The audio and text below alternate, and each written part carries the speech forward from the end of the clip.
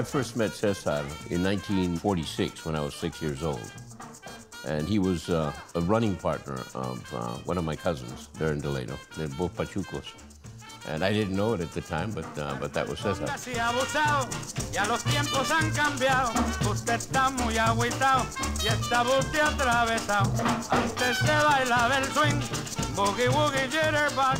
The Pachuco experience, which was his teenage youth, uh, was born out of this cultural fusion. You know, the jazz age and swing music came together with Chicano culture to create the Pachuquismo, right? It was an identity. It was the first generation of those Mexicano families who had come into the United States, the firstborn who were identifying themselves as being totally different than their mothers and fathers. I'm not Mexicano, I'm Chicano. Because I speak English, right?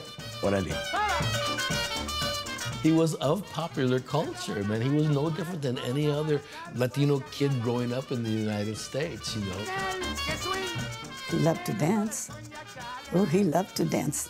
When I met Cesar, we were walking down the halls of KPFA over here on Shattuck Avenue in Berkeley, and there was a poster there that was for the San Francisco Blues Festival that was featuring Jimmy Liggins. And Cesar stopped and he looked, and he goes, is he still around? And I said, I go, you know who this guy is?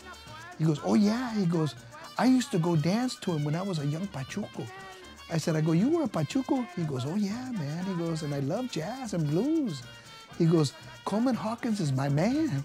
A lot of people have no idea that the leader of the Farm Workers Union was this guy that had this urban soul inside him, right? And that his taste in, in jazz music was probably the finest expression of that, of that flower, you know. I went on a trip with him to New York about a month before he passed away.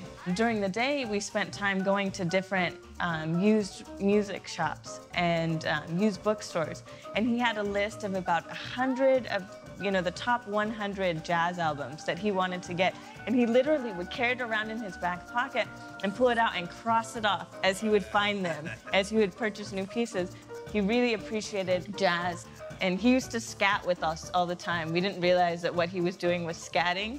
He would call us skitty beam boom and skitty bop bop, and we just thought that he couldn't remember all of our names because there were so many of us.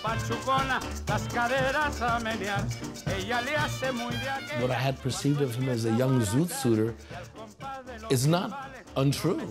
He was, but he is more, and he can be that and a leader at the same time. Can, the leaders can come out of that field. They don't have to come out of ivory towers. They can come out of the, the rocks and the soil and the sand of Delano.